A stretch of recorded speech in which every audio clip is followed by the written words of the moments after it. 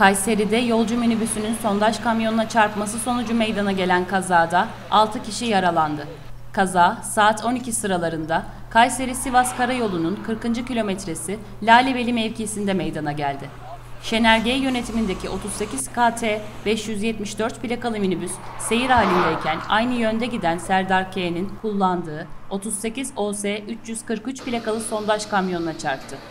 Kaza sonrası her iki aracın sürücüsü ile minibüste yolcu olarak bulunan Zeynep T, Muazzez G, Nuran S yaralandı.